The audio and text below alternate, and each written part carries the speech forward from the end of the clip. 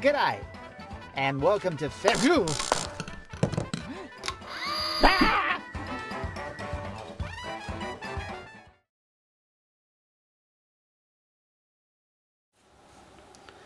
Hello, welcome to Fairy's Kitchen. Uh, what I'm going to cook for you tonight is a uh, chicken tikka masala skewer with a coriander dressing or dip to go with it. So I'll show you the ingredients and then we'll get ready to cook. Alright, here are all the ingredients.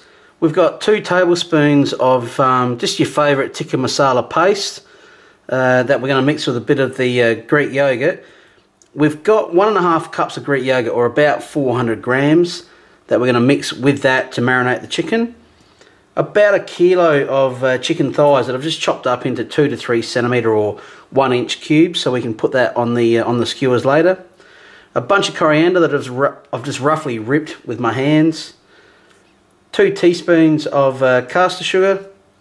A four centimetre piece of uh, ginger that I've just finely chopped.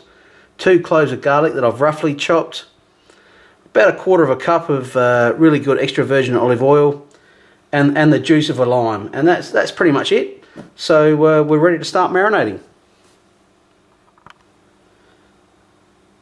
Alright, to marinate the chicken, we need one and a half cups, sorry, one cup uh, of the uh, Greek style yogurt.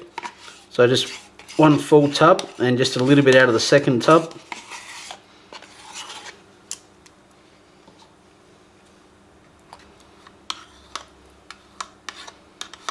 There we go. And your paste.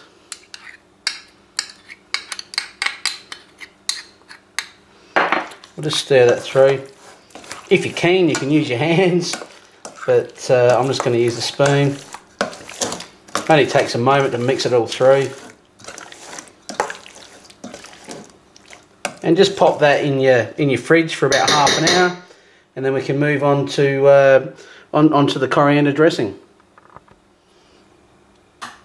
Okay, to make the uh, coriander dressing, we pretty much just add all the other ingredients. So we'll just put, pop them into my processor. So garlic, lime juice, oil, sugar,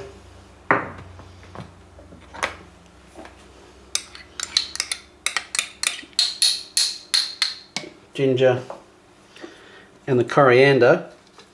Well, we'll just leave the uh, the extra Greek style yogurt till till just the last couple of pulses.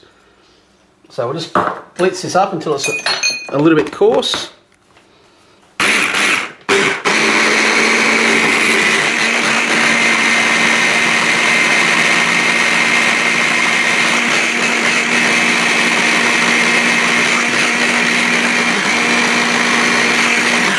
Okay, that's ready. We'll just put in the uh, leftover Greek style yogurt.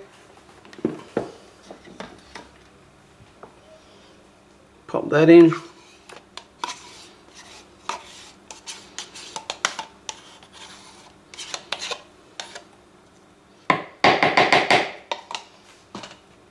This will only need a couple of seconds.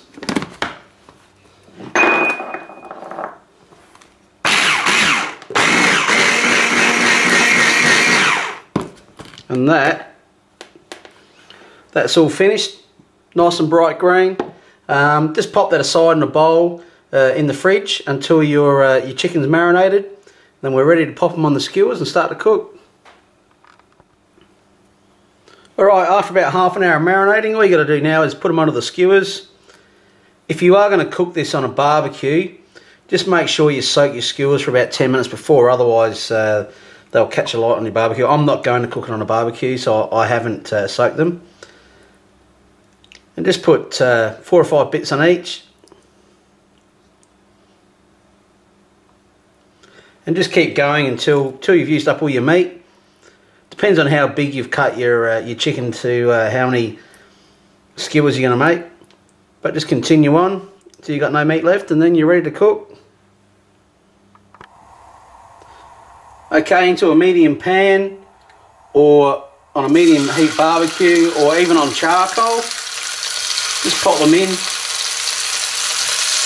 and just cook them until they're uh, Got a nice, nice brown colour to them, and then uh, keep turning until they're ready, and then we're ready to serve them up.